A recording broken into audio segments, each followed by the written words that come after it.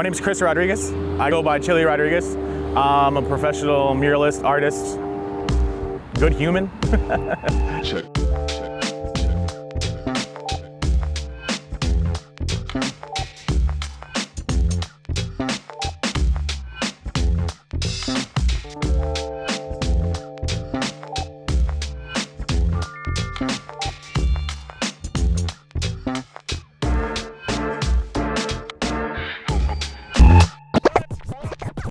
This mural originally started in the spring of 2019. Uh, I had originally did a like a canvas, a 24 by 36 canvas of Tupac of this actual painting. Um, and one of my friends, David Ross, he works for the Toledo Arts Commission, seen it and I reached out to him. I'm like, hey, do you have a wall that I could possibly do this mural on? I wasn't looking to get paid or anything. I just wanted to kind of do it for the community uh, and just try like my first portrait mural.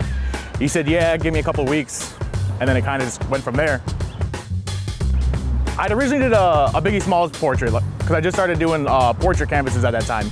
So my first one was Biggie Smalls. I'm a huge fan of hip hop. 90s hip hop is like one of my favorite things in the world.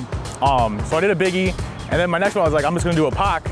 And there wasn't really like a big meaning behind me doing the canvas, but like what it blossomed into was like a whole, a whole different thing. Yeah, so the rose that grew from the concrete, I think that is such a beautiful metaphor for so many people of like so many different walks of life, mine and you know especially. So when I do my mural work, I usually try to have them in locations that are maybe a little more run down, where there's not that much other great things to look at in that area because I really think that helps uplift others in the area and in that neighborhood to give them something to be proud of so they can say, hey, we got this beautiful art on this wall, let's keep it clean, let's, you know, like look out for each other. I think it really just tries to, you know, like uplift the neighborhood. I grew up in a crazy environment parents on drugs, you know, the whole nine yards. I'm sure like a lot of people can relate to that. But coming from that into like growing into like where I'm at now, like I am that rose and I see so many other people that can like be in the same situation and and like overcome everything you know, you know they're they're faced against and like blossom into this this beautiful rose. You just need to be nurtured and like sometimes that's the hard part. But I think if you just keep on keeping on, you can, you know, accomplish anything for real.